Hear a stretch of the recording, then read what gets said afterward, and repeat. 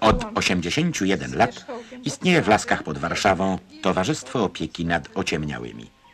Razem z osobami świeckimi misję pomocy niewidzącym prowadzą siostry franciszkanki służebnice krzyża.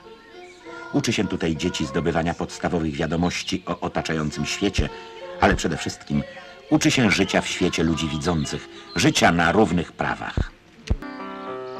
Nieopodal, w tych samych laskach, Monar wyremontował dwie wille.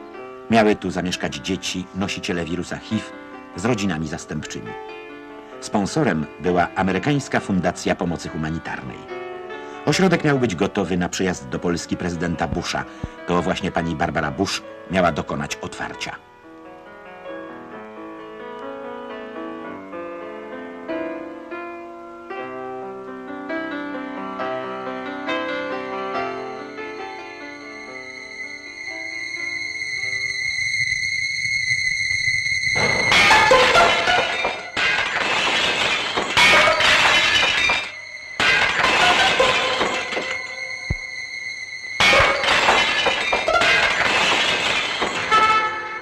Po nieudanych próbach otworzenia ośrodka w Józefowie, a potem w Rudzie Pabianickiej, chore dzieci tu miały wreszcie znaleźć bezpieczne schronienie.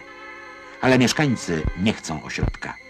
Strach i niezrozumienie wezwalają pokłady agresji. Budowa musiała odbywać się pod osłoną policji w dzień i w nocy.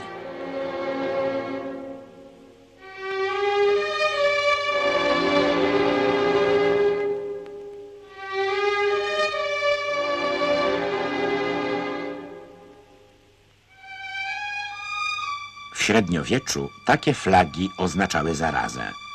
Dziś wywieszają je ludzie przeciw innym ludziom. Mieszkańcy Lasek twierdzą, że pożar w monarowskiej willi to palec boży. Prokuratura ma jednak wątpliwości i dopuszcza możliwość podpalenia. Śledztwo trwa, a dzieci, nosiciele wirusa HIV, wciąż pozostają bez domu.